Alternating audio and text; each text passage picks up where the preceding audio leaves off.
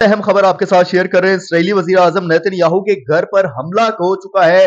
Drone attack किया गया है। ड्रोन हमला हुआ है। बड़ी खबर है जो आपके साथ शेयर कर रहे हैं। इस ड्रोन हमले में कितना नुकसान हुआ है, क्या कुछ हुआ है, तमाम तफसीलात आपको बताएँगे। लबनान से ये ड्रोन हमला हुआ है। कल हिजबुल्ला ने कहा था कि हम अगले मरहले की जंग का आगाज़ कर रहे हैं। अगला मरहले की जंग क्या है? और आज उसे उनका जो है वो आगाज़ कर दिया गया। लबनान से ये ड्रोन जो है वो उड़ा है और ड्रोन अटैक हुआ है।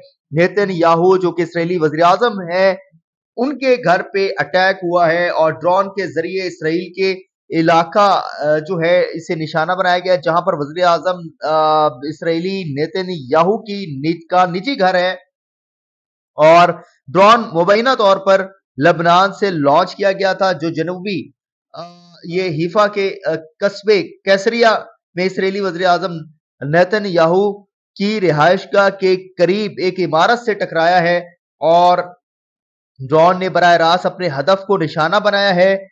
लबनान से इसराइल पर तीन ड्रोन जो हैं फायर किए गए थे, जिनमें से एक इसराइली वजी अजम नेतन याहू की रिहायशगाह के करीब एक इमारत से टकराया और इसराइली वजी अजम के दफ्तर की जानब से जारी होने वाले बयान में कहा गया है कि नेतन याहू और इनकी जो अहलिया और अहल खाना हमले के वक्त मौजूद नहीं थे और लबनान से लॉन्च किए गए ड्रोन में वज़ीर आज़म के कैसरिया में वाक़ निजी घर के को निशाना जो है बनाया गया। वाक़े में कोई अभी किसी जानी नुकसान की इतला नहीं मिली है और हिजबुल्ला ने गुजशत रोज हमास के सरबरा याया अल सवार की शहादत की तस्दीक होने के बाद ऐलान किया था कि इसराइल पर अब मजीद हमले तेज किए जाएँगे। और अब जो जंग है, वो आगे दूसरे मरहले में दाखिल हो चुकी है। अगले मरहले में दाखिल हो चुकी है। जो अगला मरहला है, वो गाइडेड मजाइलों का है ड्रोन अटैक्स का है और ये अब खबर सामने आ रही है कि इसराइली वज़ीर आज़म के घर पर ड्रोन हमला हुआ है। बड़ी खबर आपके साथ जो है, वो शेयर कर रहे हैं।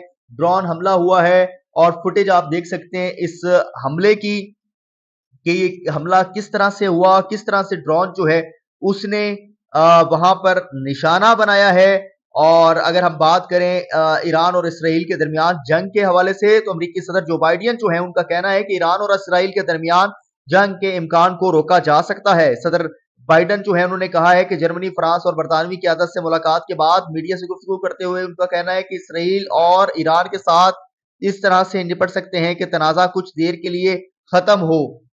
और ये अब जो खबर आ रही है ये बहुत बड़ी खबर है कि इसराइली वजी अजम के घर पर ड्रोन हमला हुआ है। तो नाजिर वीडियो से मतलब जो है वो अपनी राय का इजहार करना मत भूलिएगा।